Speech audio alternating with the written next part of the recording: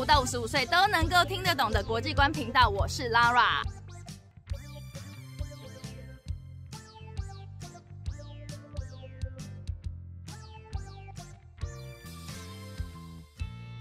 Lara 前几天呢看到了一个新闻哦，他是在讲说以色列的现任总理呢，他在一次的竞选活动当中讲话，讲话讲到一半的时候呢，就被他的保镖给拉下来，赶快去避难躲起来。为什么呢？哦，原来是因为加萨走廊那个地方呢发出了一枚飞弹，就 rocket。这个飞弹一发出来呢，当然以色列政府说马上就被他们给拦截起来了。这个呢，就是有一个以色列跟巴勒斯坦之间的不断的一个冲突。好多年前哦，拉拉老师呢曾经去以色列出差过。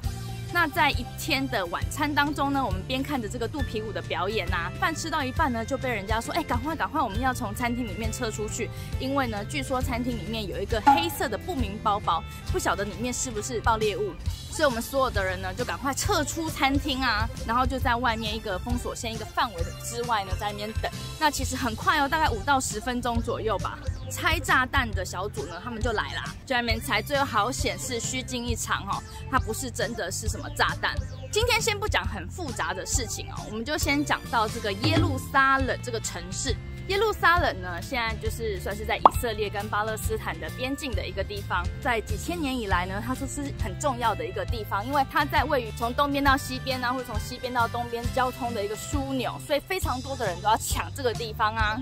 你知道耶路撒冷啊，它大概两千多年来呢，已经重新的建成了十八次，哎，天哪！因为呢，这个 A 国的人来了，跟 B 国人打架，然后 B 国的人呢，把它占有之后呢，就改来改去的嘛。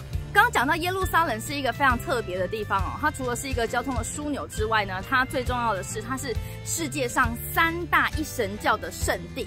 哪三大一神教呢？犹太教、基督教、伊斯兰教。先在这边呢，我要跟大家分享我上个月吧看到了一本绘本，很有趣，它叫做《耶路撒冷下雪了》。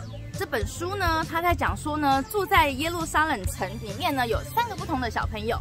哎，下雪了，好开心哦！因为这边呢，冬天虽然会冷，可是没有那么容易下雪哦。大家本来是一起玩嘛，可是雪不够多啊。然后大家就后来呢，就开始说啊，这雪其实是我的，那雪才是我的，那怎么办呢？然后大家就说，那你要怎么证明这雪是你的呢？于是这三个小朋友呢，就各自的呢去找他们认为最聪明的人。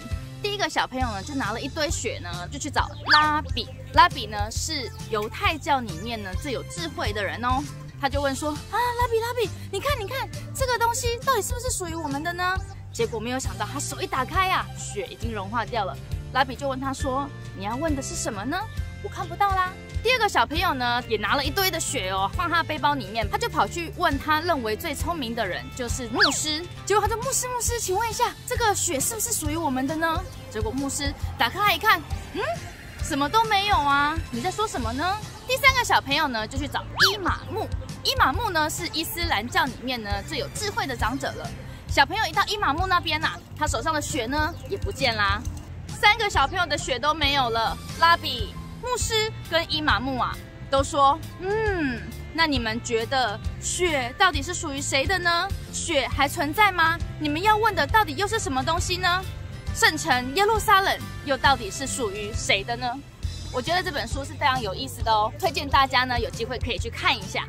好啦，我们今天分享什么呢？以色列、加萨走廊这两个是很少听到的名词嘛？还有呢，耶路撒冷三大圣城，哪三大宗教的圣城呢？犹太教、基督教跟伊斯兰教。好啦，天气很好，我们要去公园玩喽，See you，bye。